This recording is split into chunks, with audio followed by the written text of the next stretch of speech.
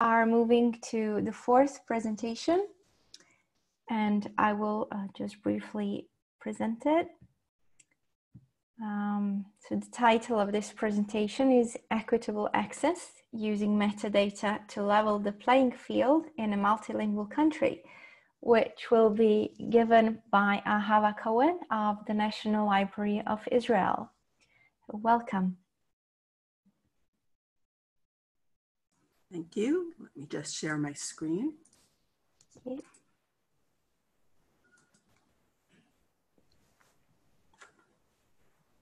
And now for something a little different. I'm here today to present, obviously, but also to learn from you. Let me explain. Like many other countries, Israel's a multicultural and multilingual society. We're so diverse that while we have a dominant native language, we don't have one that's a majority. According to the last government social survey of Israelis over 20 years of age, only 49% report Hebrew as their native language, another 18% say it's Arabic, 15% Russian, and the rest is a scattering of different languages with only 2% or under of the population. The multilingual nature of Israeli society is reflected in our publications. This graphic is from 2015, but the numbers don't change that much from year to year of the 8,225 mandatory deposit books which arrived in 2019, there were slightly more Hebrew, up to 91%, slightly fewer English, down to 5%, Arabic went down to 2.5%, and a lot fewer in Russian, only 1%. To provide each reader their book and each book its reader, we in Israel catalog in four separate languages all resources in Hebrew script, such as Hebrew, Yiddish, Ladino, and various dialects of Judeo Arabic, are cataloged in Hebrew. Resources in Arabic scripts, such as Arabic, Persian, some Urdu, some Turkish, are cataloged in Arabic. Resources in Cyrillic scripts, such as Russian and Ukrainian, are cataloged in Russian, and pretty much everything else is cataloged in English. Here you see three different manifestations of a David Grossman book, Susechad Nichnas Labal, the original Hebrew, a Russian translation, and an English translation. And each is cataloged in a different language. People, of course, are different. They aren't born in any specific language, so we can't catalog them in any specific language. That means their authority records can't be in one language. The Israel National Authority file, Mazal, Magal Zuyot Lumi, is the product of work by 20 academic, public, and special libraries, and it encompasses headings for people, corporate bodies, subjects, and places. It's fully multilingual in a way which allows each heading to be used separately in bibliographic records, but retrieved in search jointly. And I'll explain how in just a little bit. Aside from a few English language records, all bibliographic and authority records are handcrafted, thousands and thousands of records every month. That's a lot of work. Why do we do it? We believe it creates more equitable metadata than that which is found in most other countries, and equitable metadata leads to improved access. How so?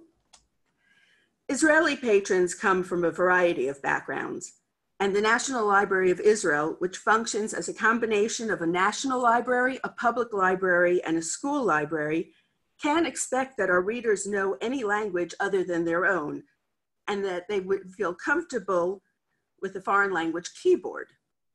The way we build our metadata allows patrons to access the variety of the library's collections using their own preferred language.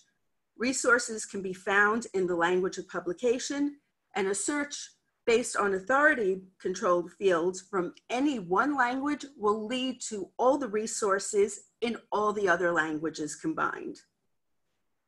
But of course, we can't forget our other big patron base, which is librarians in Israel and around the world.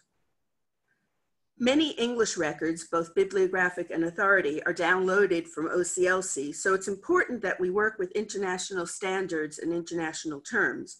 But the other three languages are, as I said before, handcrafted. We're working hard to eliminate, to decolonize and de-assimilate our metadata and allow each culture to conform to its own norms. But we're basing ourselves on international standards and data dictionaries to give us a common vocabulary with which to discuss our varying needs. There are biases built into our system which are very hard to overcome. The leg legacy of Anglo-Americanism and cataloging rules, which the RDA Steering Committee is right now actively trying to work on, and the philosophical bent of MARC, which is reflected in its determination of which metadata is non-repeatable because it's the absolute truth, and its determination that certain fields are regular and other fields are variants or alternates, even though the metadata is equivalent. We used to buy into the systematic bias. Here you see a library cataloging card, which only allowed limited access to the resource because the heading, what the people would see as they went through the card catalog, is in English, even though all the metadata and the resource itself is in Hebrew. We're looking for active ways to work around that bias. And the main way we're doing it is by cataloging in the four languages, and especially by enriching the metadata with multiple truths such as the person's name, which is equally accessible for retrieval in all the forms they use. Here you see lots and lots of 100s that are pulled out of the authority database to allow retrieval. When we're forced by international standards to show bias, such as determining one regular title, 1245, and an alternate, we base our decision on the prevalence of languages in the country, Thus, this book, which is bilingual Hebrew English, was cataloged in Hebrew with the English title relegated to an added title because 49% of Israelis are native language Hebrew speakers. There's no romanization in our record because no one but metadata people speak romanization. Our authority records, as I said before, are built a little differently.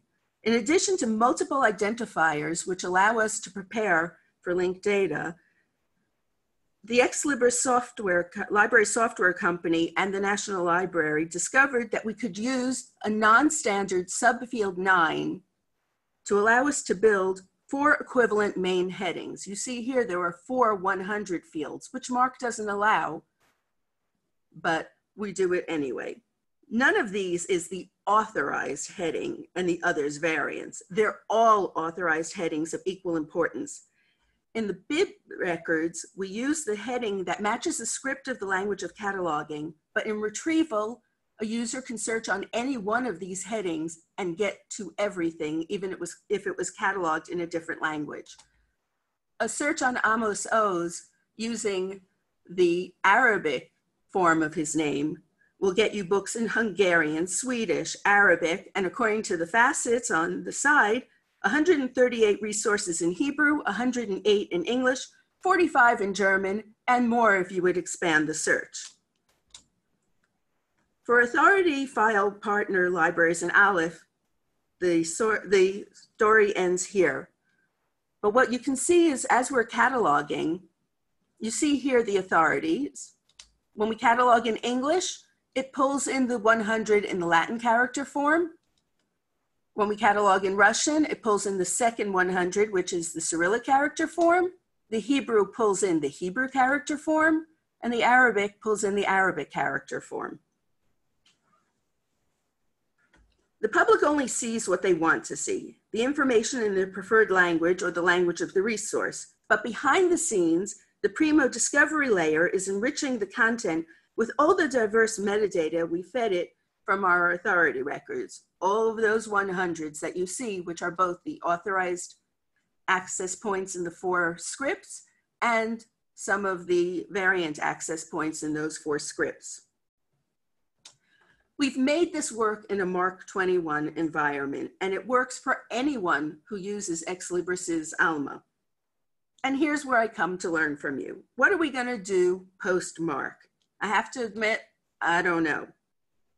The act of co-location needs to be solved. Data sources already being touted as the future of linked data, such as Wikidata, do feature multilingual capabilities, but using them is a different matter. To reconcile multilingual metadata against Wikidata, you have to run separate API reconciliation searches against each and every language. So the multilingual metadata is there, but it's not truly interchangeable. On the other hand, services like the Library of Congress's linked data services use a single URI for all languages. It's logical. Library of Congress says that the Romanized form is the authorized access point and everything else, his name in Hebrew, in Arabic, in Chinese, in Japanese, are all variants. But to do something like we do, where the catalogers use one form of the name, but the public can use any form of the name to get to everything. I don't see how it can be done using Wikidata, which makes you divide things up, or Library of Congress, which puts everything together into one bundle that can't then be separated out. Once we've moved on from MARC, how will we in Israel be able to, at the same time, allow patrons to unify their searches and obtain results from all languages, but allow librarians to specify the one heading that they want from that whole bundle? I haven't seen anyone try to tackle this idea of separation at the same time as unification, but I think it'll be fascinating to watch the process when it does begin. If any of you have any ideas, I would love to hear them now or contact me later. I think this could be mind blowing and uh, thank you for listening. Thank you, Ahava, for uh, this presentation and uh, promoting multilingual search and um, equal representation, going away from uh, colonialism and, and so forth. And uh, thank you for opening also the floor for uh, comments and questions. Um, special thanks for everybody for keeping to the time. So now we have plenty left for uh, questions. As uh, announced earlier, um, the way this Zoom is structured is that you can post your questions in the chat window and I will read them out uh, to the panelists. The panelists are also, of course, most welcome to ask questions or if somebody has a direct, nice response to Ahava, please do go ahead. So the floor is everybody's now.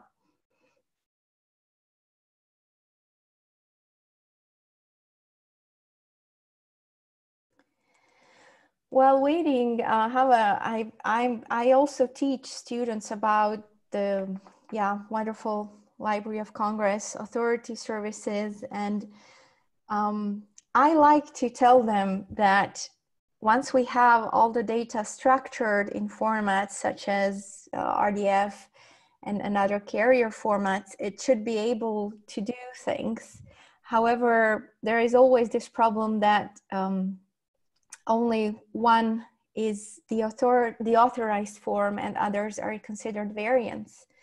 And um, I, I, do hope that there still is a way to extract them as authority authorized variants um, depending on the country of origin. And maybe we then need parallel authority files uh, and uh, linked data services to allow for that even country of origin might not be enough because if you have an Arab author from Israel, you wouldn't want necessarily to use the Hebrew form of his name. You'd want to use the Arabic because that's his native language. There is other information in the authority files that might help, but I'm not quite sure how we're going to tease it out. I'm actually sometimes taught, I help out with Ex Libris, and that's one of the topics that I'm going to be bringing up. We have a meeting next week about linked data, that that's something we're going to need to look at is we know how to bring in this information. How do you sift through all of it to only use the parts that you want in one context and to use all of the metadata in another context that uses the same authority file? Right, right.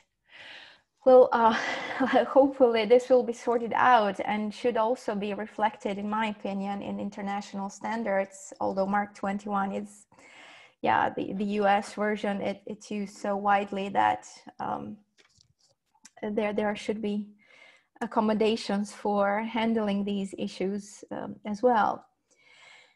Um, moving on to the question from the audience, um, uh, thanking for the interesting presentations. There's a question about the federated search in the first talk. So about the Shanghai Library. Um, the question is whether this only uses SPARQL via Virtuoso or are other indices included like Elasticsearch to speed things up? In other words, did you encounter performance issues or bottlenecks? Uh, yeah, yes, of course. Uh, uh, can you can you hear me? Yes. Yes, of course, uh, we use Elasticsearch uh, for every single knowledge base and uh, provide APIs uh, for the federal search engine. Yeah. Uh, can you uh, see my screen? Yes. Okay. Um, because the RDF data is stored in the OpenLink what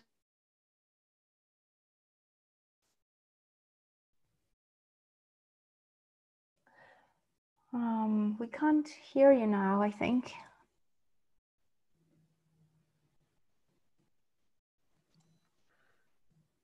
We lost your audio. Yeah, can you hear me now? Yes, it's yes. back. Uh, okay, okay. Uh, uh, sorry. Um, as you see, uh, this uh, image, can you can you see my uh, screen? Yes, we can. Uh, yes, yes. Um, uh, because uh, every knowledge base uh, is based on link open data, and the RDF data is stored in open link Virtuoso, and the uh, Virtuoso provides a SPARQL endpoint.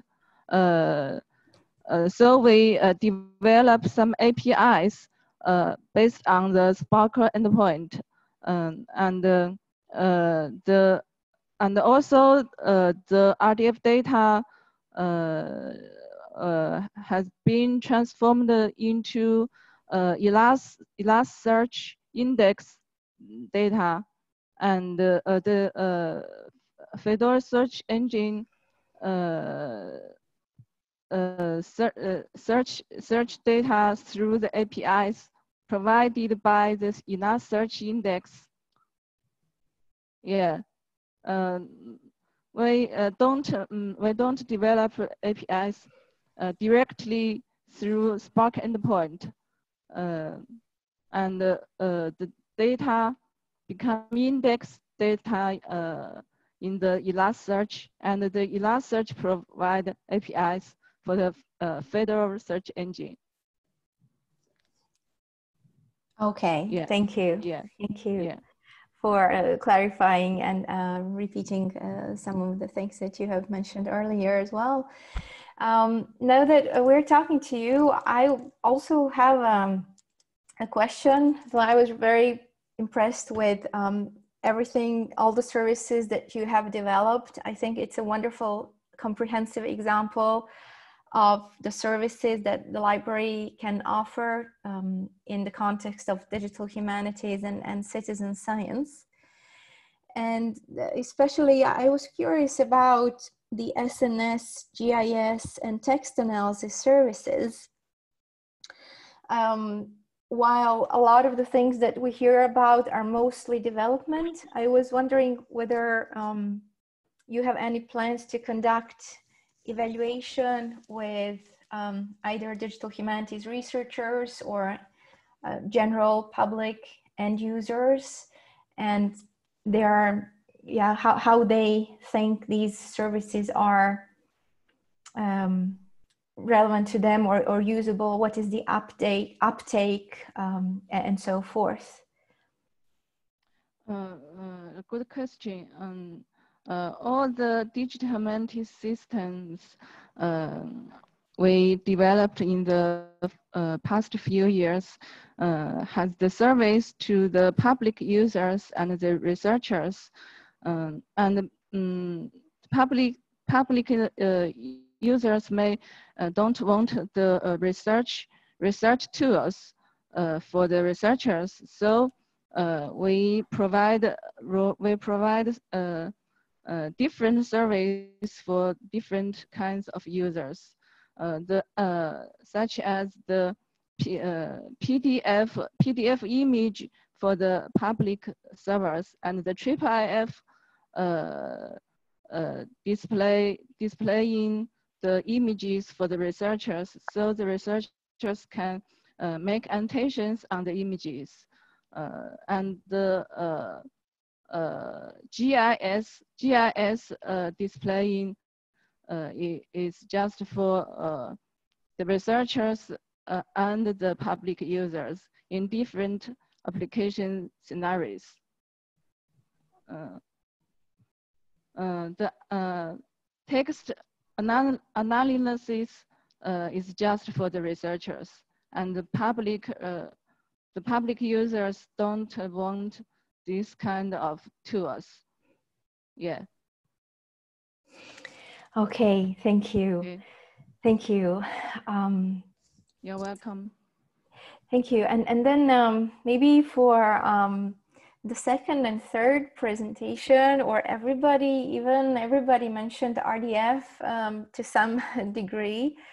And um, we are all uh, developing solutions based on RDF, uh, but then there is still a problem on how to um, search on RDF, especially for lay people who are not familiar with SPARQL. Um, I, I, wonder in the in the future, perhaps in the distant future, whether there are any plans to implement services and evaluation where anybody could, could search on RDF data that would be um, a well accepted solution, like an interface that would be easily used by everybody.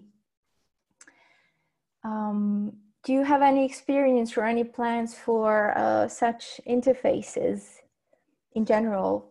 So this is basically for everybody. If anybody has a comment on that.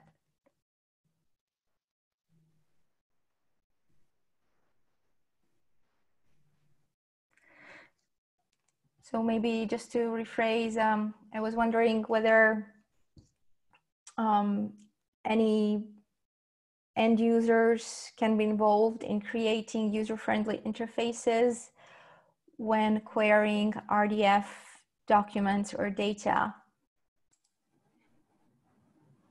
Uh, hello.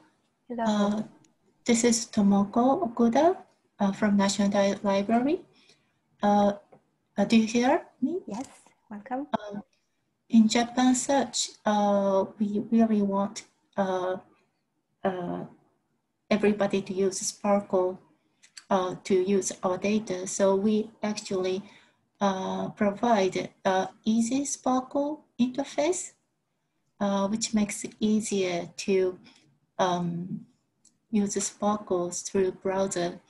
Um, and I myself was um, not really specialist with uh, SPARQL language, but uh, the interface actually help uh, to me to understand and um, together with the data model, which is very easy to understand, um, I feel like uh, the use of uh, RDF data through GPS is uh, slowly uh, increasing. That's my comment. Thank you. Thank you very much. Um, we now have two more questions. One is, um, I assume for the first talk, um, but please correct me if I'm wrong. Um, can you tell something more about how you use spatial information like place of publication or what role visualization of spatial information plays in your projects?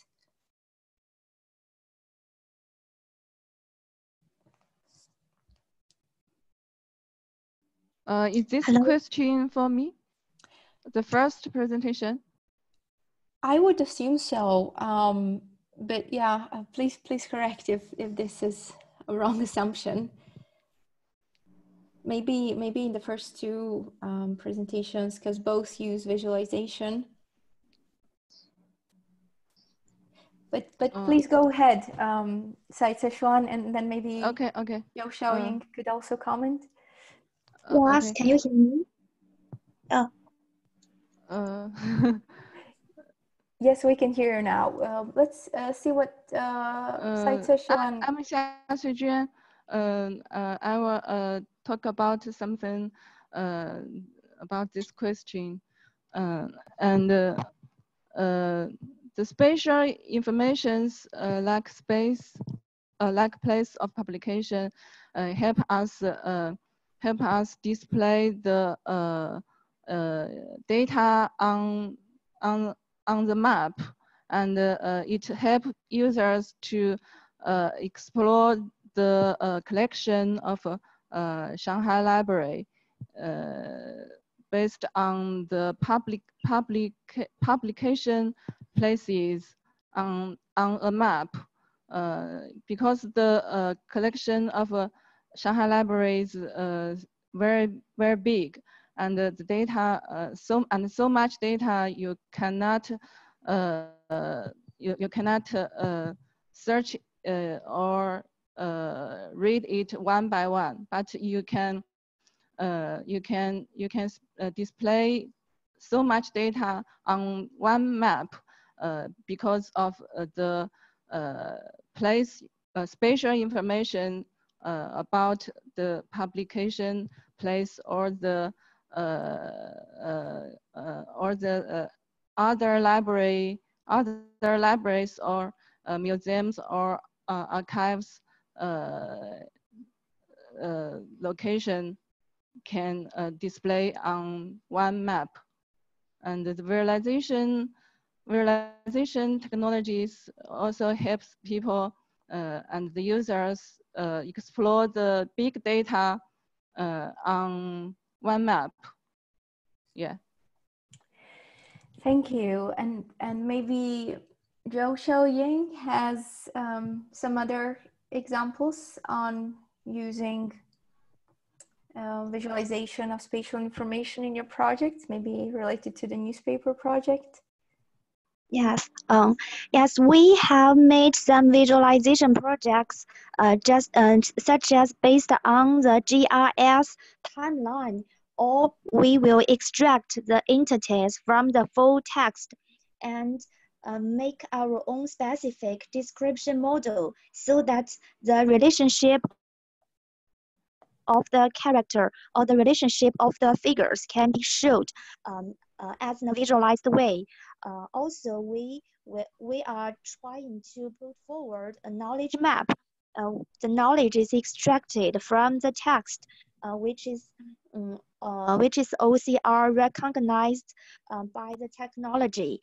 And what's more, we I think uh, in the future we can have more visualization um, practice about the analysis of the data, such as the um, analysis of the tr uh, the trend of the hotspots and the subject links um, between the different resources. Thank you. Thank you very much for commenting on that and explaining further. We then have two questions for Ahava. Um, Tom is suggesting the following. In the SKOS data model, each concept has one preferred label in each language used, but no particular language is considered to be inherently authoritative. In other words, one language may be considered authoritative in a given context, but such decisions are outside of the SKOS data model itself. So could a model like this meet your requirements? It definitely might. You've given me now homework to do before my next meeting with Ex Libris. Thank God I don't have to figure out how to implement something like that within Alma, since Ex Libris is trying to sell this sol- multilingual solution to other national libraries. I'll read up on it and I might contact you, Tom, if I have questions and then I can pass it over to Ex Libris and say, yeah, this looks like a good solution. Now figure out how to do it. I love passing the buck. and then one more question uh, for you. Multilingual searches mainly depend on resource labels rather than resource identifiers, mostly supported through Wikidata APIs. I'm curious to know the challenges faced or anticipated in reconciling Wikidata entities for your use case. We have two main problems. One is a manpower problem because when we've worked with OpenRefine and reconciled uh, names against Wikidata, a lot of the suggestions aren't high quality. We need to have someone who can really understand the language to look at the Wikidata entity and see if it's what we mean. So we have to keep passing the projects back and forth between different departments in the library, between the department that handles Cyrillic characters, Hebrew cataloging, Arabic cataloging, and that makes everything take longer and be more prone to pitfalls. The other big challenge we have is the same challenge we have in our authority database and in VIAF information gets scattered. Someone opens up a Wikidata entity for a Russian author, not realizing that someone already opened that entity, but with his name only in Hebrew or only in English or only in Arabic. And we have to find all of those instances and put them together into a single entity. That's what we keep doing with the OCLC database that scatters people across different I, uh, authority records. VIAF does the same thing. We do it, unfortunately, now and then. And that's very hard to do. It's trying to find a needle in a haystack. And it needs, again, a lot of very knowledgeable people who both know how to work with Wikidata and with the various authority databases and understand the culture and literature and history of the things that we're trying to describe in Wikidata. And that's not an easy combination to find.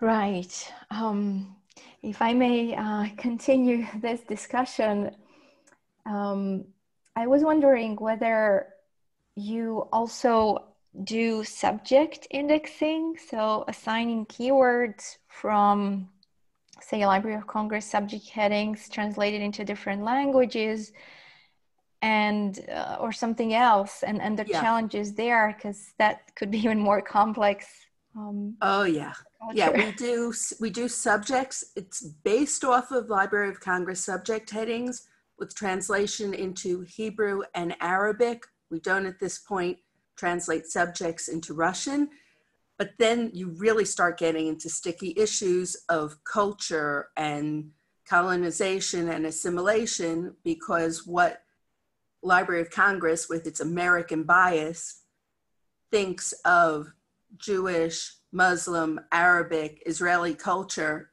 doesn't reflect what we think of ourselves.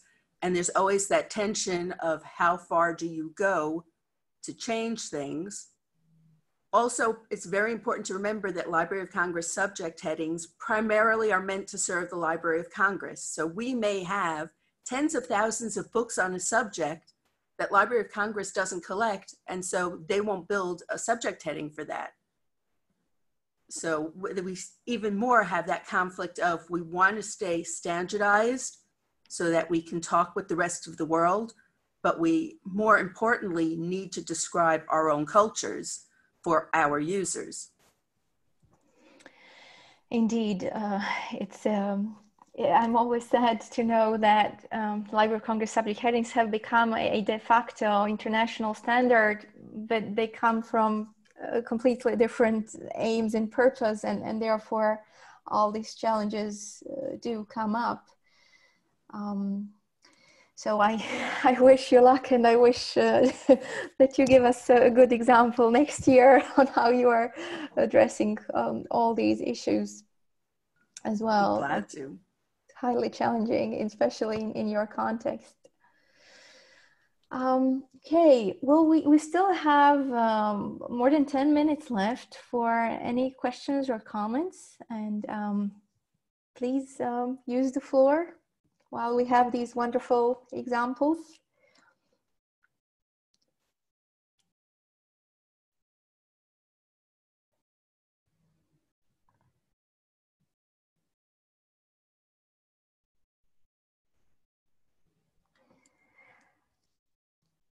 Okay.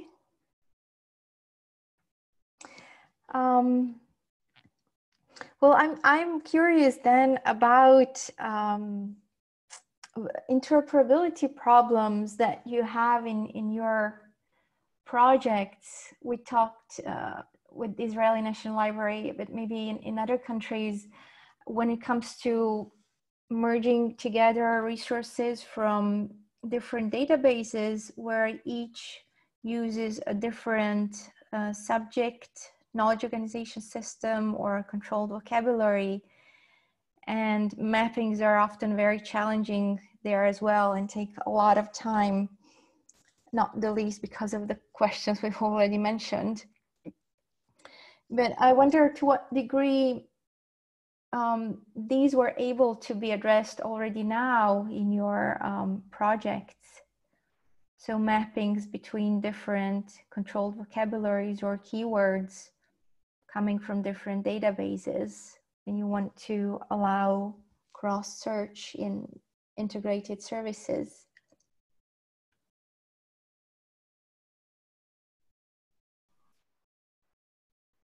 Uh, I can talk about a little about this. If uh, if I uh, if a book has um, many keywords from different knowledge organization system, we just uh, we just record all all keywords uh, and uh, uh, uh record the uh, source of knowledge organization system the keyword come from. Yeah, we just record. We just accept all the keywords. Mm -hmm. Mm -hmm. Okay, yeah, yeah. I guess that's that's a common way of, of doing thing also in, in discovery services, which bring together library catalog with academic journal articles and repositories um, that I have uh, worked with. Um, and uh, yeah it, it's I, I see that it comes with problems because if something is not indexed in the same way or not at all because of a different indexing policy then it won't be found using the same uh, search term. But uh, it's also very resource consuming to, to do all the mappings. And we have one more question it's wonderful to hear about all of these RDF and linked data applications. Is it becoming easier to find qualified people who have learned these technologies at university? I assume this is for all the panelists.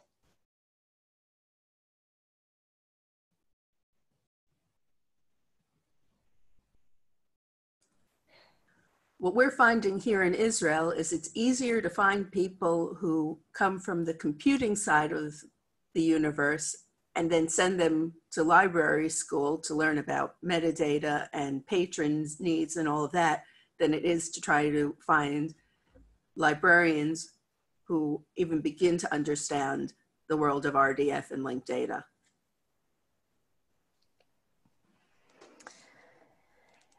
Um, if I may comment on that, uh, I work with digital humanists um, a lot, and um, those who really need to learn um, about this so that they can access the data and do their research, they they do. But in general, um, not not quite. uh, to answer that.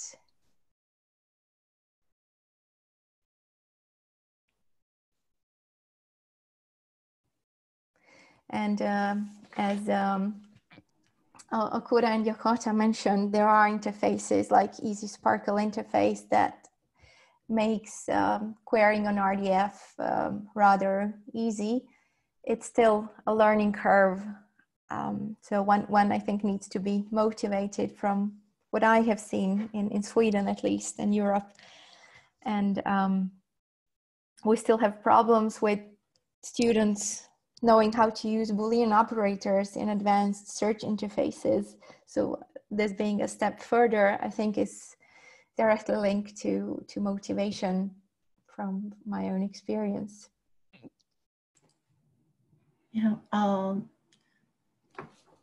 yeah, uh, finding a um, qualified people is quite a um, big problem in Japan too. Um, also, uh, when we are handling uh, data from um, heterogeneous sources, we have to um, think how to convert them uh, data set by data set. So um, without our without a fixed policy, um, the the changing process can be easily um, can easily change it without uh, in an unpredictable way. So find out good people and uh, uh, uh, we, the librarians libraries have to work with them. Uh, that's very important, I think. Mm.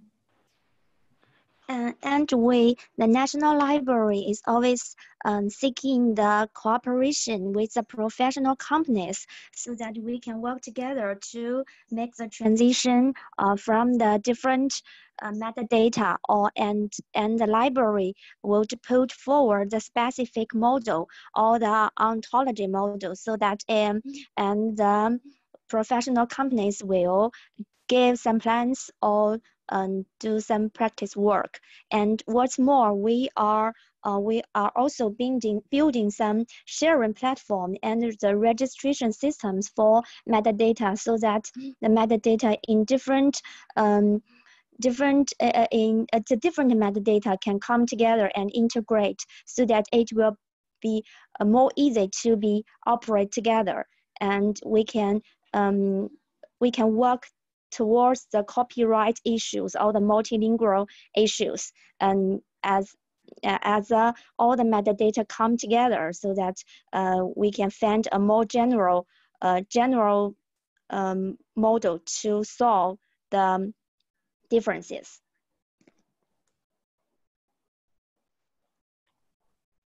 Right.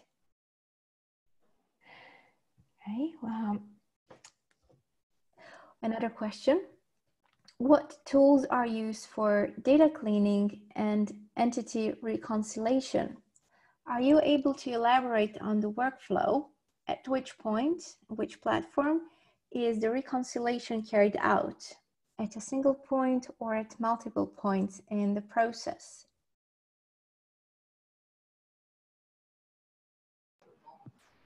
Hello? Uh, we use we used Open Refine, Open Refine, and uh, uh, uh, we developed some uh, RD, RDB to RDF tools and uh, uh, extract, uh, trans, transform, and load uh, tools uh, for uh, for gathering data from the web and cleaning them uh, and uh, do some uh, entity recognition uh, by myself, by, by ourselves. And um, we, we just developed the many tools uh, by ourselves and uh, don't use any open source uh, tools, just OpenRefine. Mm -hmm. Okay, thank you. Well, we, we have a, a few minutes for um, one or two last questions or comments.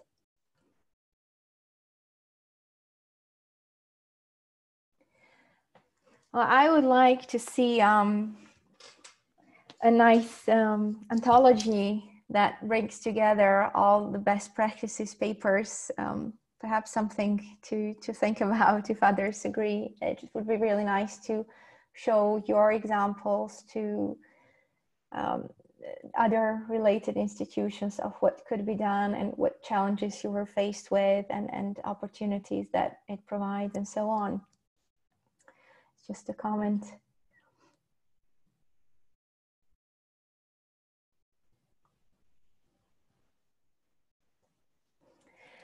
And there will always be a challenge of uh, training digital humanists or um, anybody else who wants to work with um, RDF and, and SPARQL.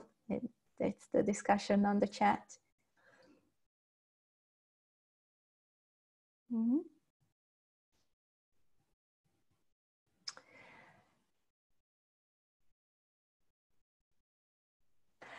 Okay, well, um, if there are no more questions, I think we have had a, a long and fruitful discussion. Thanks to the presenters uh, who, who kept uh, their time very well. Thank you all uh, for coming here, for taking the time out of your schedule to show us your wonderful projects. And thank you to all DCMI uh, participants. Um, the conference will go on um, this week and, next week as well. And I hope to see you all and hope that you enjoy the remainder of the conference. So thank you very much for today and this session.